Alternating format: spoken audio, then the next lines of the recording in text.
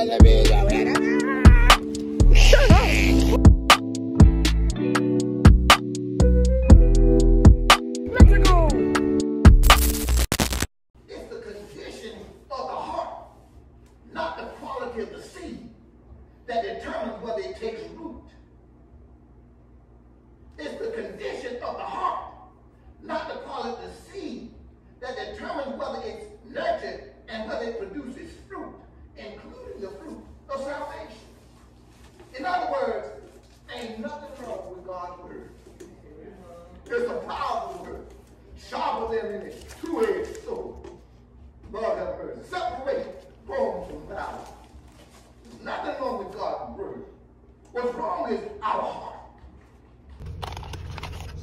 This looks absolutely amazing.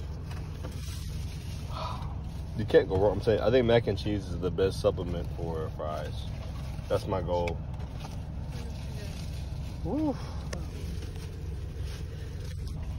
Oh, Hey, we on the way to McDonald's. That is nothing to be hype about. We are on the way to McDonald's, man. And we gonna meet it with Jay. He said he wanted to go, and I'm like, all right, let's do it. So I'm gonna get some food. Uh, not, I'm hungry, but like, fried food really isn't what I want right now. But you know, I'm vibing with it. It's whatever, not a big deal. You know what I'm saying? Probably go get some burgers or something. Burgers and fries will hit right now. So let's get burger, uh, or three, probably like three burgers and some fries, and we gonna be chilling, man. Uh, if you don't have the McDonald's app and you go to McDonald's, you are losing money. Go get the McDonald's app, bro. Like quite literally, I get a 20 count nut. What's up, a car? Oh, the lights are out. That car looked different from a distance because the lights were out and it's dark. I was like, what the heck? But dude, I get a 20 count nugget, a large, two two medium fries for like five six dollars, bro. Like that's a vibe. It's six dollars, but that's a vibe. All who refuse will have their death. This is crazy. Where's Amen? Bro, I only watched this show for Amen, bro. Last time me and Jay played with these teams, last time me and Jay played with these teams, Jay was destroyed, bro. It's a 20 point dub. Sasuke too. Uh, Sasuke is, he's a dog. He's legit. Uh, but yeah, so, you know, I came Who's, over. Um, Itachi. That's Sasuke's older brother. Okay, I've heard about him. Too. Itachi is the best character in Naruto. No question. Y'all, the last game me and Jay played, I literally couldn't do nothing, bro. I had the all-time Blazers versus all-time Bulls, and like quite literally, bro, the game the game was 58-62, so it wasn't like a bad bad game, but like um, there's nothing I could do. You know what I'm saying? Like Bill Walton, I had Bill Walton and Lamarcus Aldridge, and they were getting rebounded over by this like Gibson, Gilbert Gibson guy, whatever his name is from the Bulls, bro. Like, there's no way Bill Walton was getting outclassed like that, bro. Like, I've never heard of that guy, bro, outside of the 2K. So I was just like, dang, bro. Um, but you know, close game. I ain't gonna be mad about it. One thing I've been getting better with, like with games, like uh, like games online and just in general, bro, is like don't take it too like serious. You know what I'm saying? I, I can take them real serious, bro. Like I'm real competitive. Um, but I gotta keep myself calm sometimes, cause I be getting mad, bro. I be getting mad at the game. Like, why the heck? I be blaming the devs and stuff. Like who- whoever made the game, like plotted against me, bro. They did it to me, bro. They they wanted me to lose. That's what be going on. Cause I be, I'm good, bro. I should not be losing, bro. If I lose, then clearly somebody like set the game up to make me lose, bro. But it's 12:33 in the morning. I got to get up and uh, got to get up and go to the gym. I'm going to the field first at six, so I got to get my butt up. It's gonna be a little damp out there, but thank God we have turf. Uh, but yeah, so get up and get to the field and get that work in, man. Time's running down. Time's running down, and um, you know what I'm saying? I, I gotta get healthy and I gotta get where I, I need to get. I, I'm not letting nobody down this year. I'm not letting myself down. We gonna we gonna be as good as we need to be and how good we can be, bro. Like this this year is gonna be a year. You know what I'm saying? These vlogs are gonna go crazy. Um, and they're gonna they're gonna be what they're what they're called to be. This person's going quite slow, probably because it, it rains, raining a little bit, so I, I'm gonna go slow too. But um, yeah, bro, I, I want this year to be so good, bro, and I know it can be and will be if I do what it takes. So it's time to lock in, bro. Like I've been to the, I told my boys, you know, we went hooping a couple times, but I told I told them, bro, like I'm not hooping again, bro. Um, cause I want to stay healthy, and on top of that, bro, I can't go to the gym more than I go to the field. I don't play basketball. I'm a football player. I don't play basketball, so I don't need to be out there at the gym more than I am on the field, bro. I don't play basketball. Um, You know what I'm saying? If I get hurt doing that crap, then I'm basically just saying, you know what I'm saying, I don't really care for football. That's what I'm saying, bro. I need I need to lock in, bro, like and get get right. Football is not my life though. Understand? That's one thing I also have to understand. Football is not my life, but it's something I can use to glorify God. Um, so we gotta do that. Y'all, I don't know what it is, but it is dude, these lights are terrible. My lights are so bad, but it's all right. But yeah, man, hey, the word I got for y'all tonight is, is one heck of a word. So y'all lock in and enjoy it, man. What's up, y'all, man? How y'all doing today? Um, this word right here in Jeremiah, the 39th chapter, is one heck of a word. Um, and it's, it's one that if you, when you read it, you know what I'm saying? If you just read it like a book, you know what I'm saying? You're going to miss out on the importance behind it.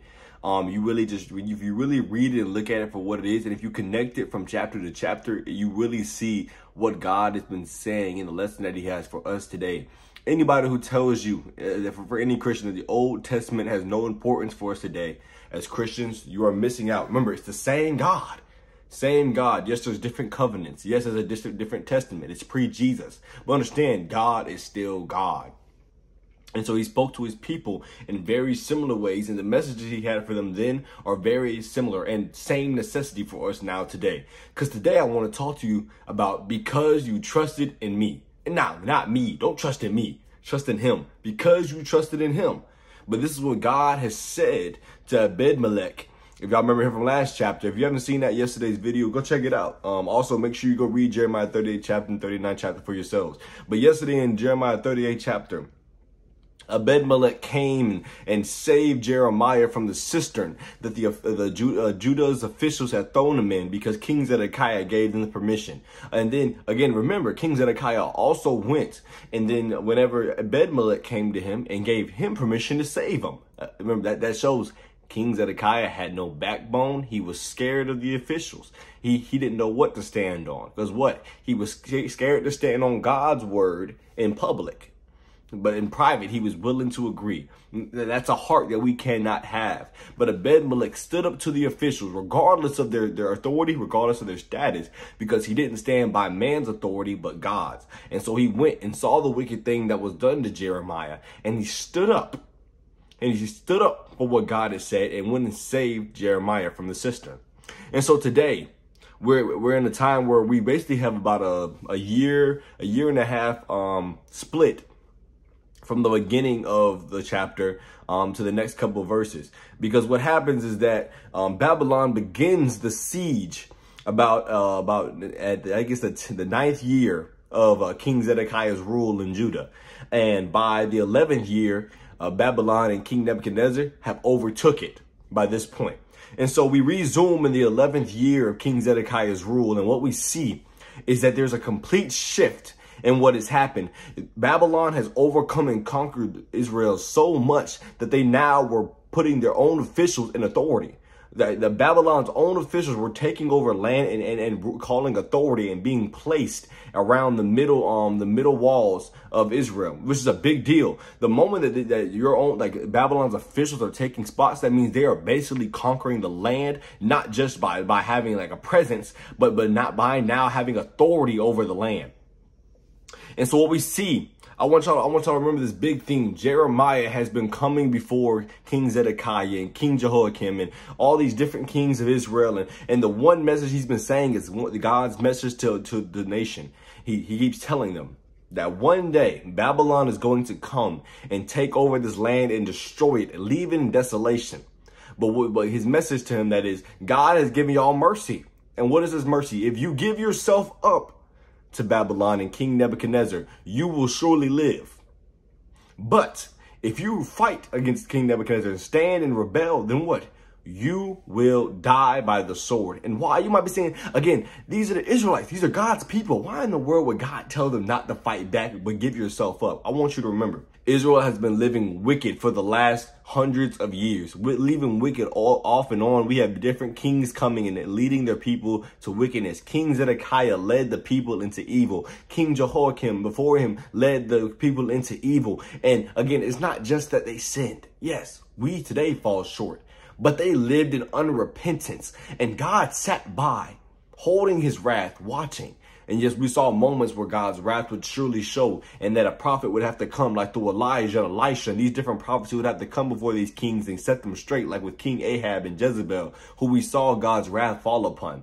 But again, God's wrath had not fallen upon all of Israel yet because um, because God was being merciful and giving them time to repent, but they chose not to. And so God finally had to break them. God finally had to break them to lead them to repentance. And so now we see that God is using Babylon, which is a wicked nation himself, using a Babylon to come and correct his people, to discipline his people. This is why Israel is going to fall to the hands of Babylon. You reap what you sow. They sowed evil in Israel, and now they were reaping that which they had sowed. And so God is pronounced, though, if you come and you just give yourself up to Babylon, you will see mercy. And all the kings are hearing this message. All the officials are seeing this message and they fought hard against Jeremiah. Not because Jeremiah had done evil, but because they did not like the word of the Lord. And Jeremiah was doing his job. He was speaking God's word. As we will in this world, we are going to go around, we are going to spread God's word if we are true believers. And we're going to have a whole lot of pushback. A lot of people not going to like what we say. But again, it's not about how people react to the word. Because at the end of the day, God's word must be spoken. Just because people don't like like, what you're saying does not mean you change the message. Because again, God's message is God's message. Don't you make it your message. Don't you make it man's message. Keep it God's message. And that's why we saw last chapter that Jeremiah was thrown, thrown into the cistern by the officials because they did not like the word that was coming out of his mouth. But now, after Ebed-Melech saves him, we see here in, in Jeremiah 39 chapter, the, the reaping what you sow in full all in full throttle. I mean, it's all full circle here because with the beginning, we, we just see that Babylon is finally taken over Israel and King Zedekiah has to make the decision. Will he give himself up to God, um, to Babylon as God's called him to do and take the discipline? Or will he stand and fight and die as God has called, has called it to be? And I want y'all to, to just hear how spineless King Zedekiah is. He makes his decision to stand and fight to stand and fight. In fact, what it says is that kings that when King Zedekiah and all the fighting men of Israel, that's what it says. So he had prepared an army. So he himself didn't just stand against um, stand against Babylon, but he led others to stand in rebellion against God. And so what ends up happening is that he stands against them. But what happened when, when Babylon comes? He's so spineless that he didn't even stand to fight. He's it says that when he, whenever the it says whenever King Zedekiah and the um the fighting men of Israel saw the um King Nebuchadnezzar and the Babylonians, they ran away. When they when they saw the Chaldeans, which is another way, word for the Babylonians, they ran away. You know how spineless that is? God had said if you turn yourself in, if you just give yourself up, there will be mercy and they will let you live. But instead, he chose to stand and fight. Even worse, when it came before him, he ran away. Number one, what that shows above all is that he did not trust God at all. God had told him if he gave himself up, there would be mercy. But he did not trust the Lord. He didn't trust the Lord so much that he stood and fought, expecting to overcome. And then when he saw them, he was so scared and still didn't trust God's word because, again, in that moment when he saw that, even though he chose to stand and fight, he could have easily said right then and there, we are giving ourselves up. But instead, he was so scared of what might happen to him if they lost or if they gave them stuff that he ran away. He did not trust God's word. How are we as believers going to act when things come our face, when life starts to hit? Are we going to give ourselves up to God? Are we going to trust him in his word? Or when, when things start hitting the walls and we get scared, are we going to start reacting in ways that don't show faith. We must show faith at all times. It is easy, really easy to get scared and to, and to make decisions that are contrary to faith. But at the end of the day, we do not move on feelings. We do not look move off of what things look like, but what things are. And at the end of the day, when God has spoken a word into your life, you act on what he has said and not on what things are looking like what the world tells you to, to, to do. Because Zedekiah I'm sure all his emotions, all, all his fears got to him. And he said, man, because again, he, just in the last chapter, he told Jeremiah, when Jeremiah told him, he said, Jeremiah told him what? Obey the Lord. And why did Jeremiah tell him this? Because what Zedekiah had expressed to Jeremiah was the, the fear of the, um, whenever he went to Babylon, being placed in the hands of, of Nebuchadnezzar and him giving him up to the Judeans and them killing him. um, once they got him in their hands for leading them to this place. But Jeremiah assured him that if he gave himself up, he would have nothing to worry about. And Jeremiah went on to say, obey the Lord. We see a chapter later that this word that was spoken to him meant nothing. Meant nothing to him because he did not listen. And now we're seeing what disobedience brings to. Because what it says that when he ran away, it doesn't just end with him running away. He runs away. And what ends up happening is that they overcome him. The Chaldeans catch him. And what they end up doing is that they take him, they blind him, they shackle him, and they take him to Babylon to face Nebuchadnezzar and be judged. But before they blind him and take him away, guess what they do? Before his own eyes, they kill his sons. And they go on to kill all the officials of Judah. Just as the Lord said, just as the Lord said, this is what happens when we disobey the Lord. Disobedience never is ever rewarded. How can you expect mercy when you deny it? God offered mercy for obedience. Zedekiah stood in rebellion and did not trust the Lord. He didn't trust him so much that he didn't he didn't give himself up. He he stood and fought, and his fear even led him to run away. He was spineless and did not trust the Lord. But that's just one story in Jeremiah the 39th chapter. And that tells exactly what not to do. But here's the story of what to do as believers in Christ. We see now Jeremiah the prophet who has been standing by the Lord. I mean, standing by him, strong and heavy. All of Jeremiah. We're 39 chapters in, and Jeremiah is still preaching the word of God and, and, and, and giving the word whenever the Lord speaks to him. He is obeying as we're called to. Last chapter, we get a we get a new person that we've not met before, Ebed-Melech, and and he comes in and he comes in and does this righteous act because he he denies the wicked of the world and denies the wicked of the officials and stands by God. And we see this act as an act telling us as Christians to stand up against evil, stand up against wickedness, to proclaim God's word. And it's a great message. And now we see that that does not go without reward, because here we're about a year later from that last chapter where we're now in the time where Zedekiah is being captured and his kids are being killed. The officials are being killed. He's being taken to Babylon. There's a complete different story going on for Jeremiah and Ebed-Melech. And we see here when we rezone with Jeremiah that Jeremiah is still in the same place when Babylon comes. In fact, Nebuchadnezzar himself before they even reach Jeremiah, sends a word to his to, to his his staff and his officials and his, his guards, his generals, and tells them to watch over Jeremiah. And whatever Jeremiah asks for, make sure he has. That, that I think that is the epitome of God. God will prepare a place for you uh, or a seat for you at the table of your enemies. If you don't believe it, if you don't believe it, there is no way you can receive it. You must have faith because Jeremiah stayed there in the midst of the enemy sieging his land. I'm sure he was scared as could be, but he stood not because of what the world showed him, like Zedekiah. He didn't run away. He didn't stand and fight, but he he gave himself up and he stood he, he stood and he, he rested on God's word because he trusted what God had said. And, and he was rewarded for what he had done. But while he's there, uh, the word of the Lord comes to Jeremiah and says what to him? It tells him to go to Ebed-Melech and tell him that there is nothing to worry about. Tell him that God has him. Tell him that there will be that there that he has a place and that he will live.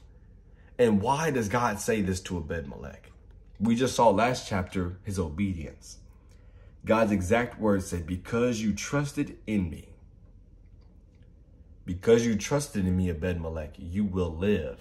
Even though your enemies Cause, cause, and here's what God, God acknowledged this to Ebed-Melech. He said, he's, these people who were coming against him, he said, these people that make you dread Ebed-Melech. Dread means basically fear, um, scared. That dread, dread can be people that, that, that bring you sorrow, bring you pain. He says, these people that you dread Ebed-Melech, because you trusted in me, you will live and you will live without worry. God said he was going to take care of them. And I think with this major word, it shows two different sides of faith. Those who take faith and stand by the Lord are rewarded, but those who don't trust in the Lord will not see his reward. Can you reap what you sow? And when you walk in disobedience, again, disobedience is a sin, we know that. And so we see Zedekiah rewarded for what he had sowed. His reward was not one of good. You ever know, y'all know when we, people used to talk about Santa Claus and you getting cold? That's basically what he got. For his wrong behavior, he was given a terrible reward. He reaped what he sowed. But Jeremiah and Ebedmelech, two men of God, were rewarded. And the words that God said were because you trusted in me. So all I can say to you all today is because you trust in the Lord, you will be rewarded. I can't tell you with what, I can't tell you how, but I want you to understand that in our lives today, our God is the same, always has been and always will be. And if he rewarded his people then for faith and for, for trust in him, he will reward us today. And so if they had faith then, we need to have faith now because our God is working. And though we don't know how he's going to work, we don't know when he's going to work, we must have faith and trust that he is going to do what he says he will do. I know you don't see it yet. Y'all, it was a year. Babylon was sieging Israel for a year. I'm sure they had no idea what the outcome was going to be for them. But when Nebuchadnezzar took over, Nebuchadnezzar came and said, take care of Jeremiah. And Jeremiah got a word from the Lord and said, you will be taken care of, Ebedmelech. And God said to Jeremiah to tell Abimelech, you will be taken care of because you trusted in me. So trust the Lord today, forever and always. I know it's not easy. Again, it didn't say that Abimelech didn't fear. In fact, it said Abimelech dreaded the Chaldeans. He was scared. But he held to faith, not because of what he saw, but because he knew who he had faith in. Let us pray.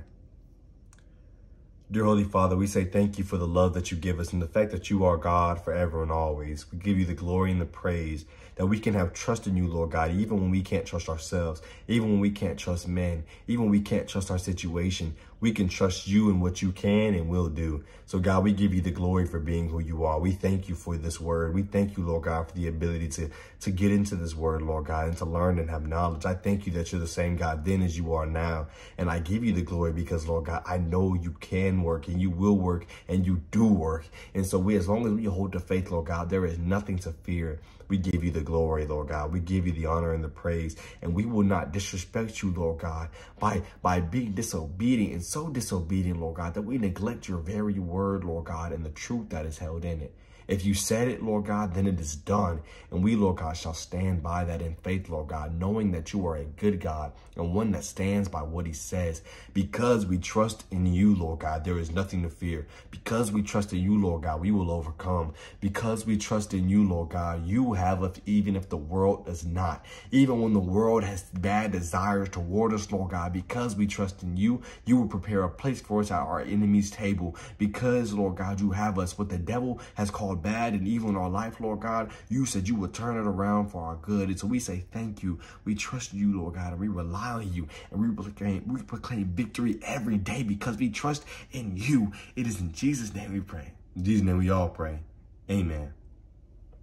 Because we trust in him, we can speak with authority victory day in and day out over all our situations and any and everything we are dealing with because we trust in him. So give God glory today, forever, and always. Because we trust in him, we will make it. We will be where we are called to be because we trust in him. That's nice. Round up, man. But y'all enjoy this vlog, and make sure you like, comment, and subscribe. And I pray you enjoy that vibe, man. Keep trusting. No limit. Young and winning, move straight out of state, ain't coming back. They call me Alex at the crib, but they be on the track. My homie Dorsey saying that it's me, but he the Mac. The shorty call me Chester, she a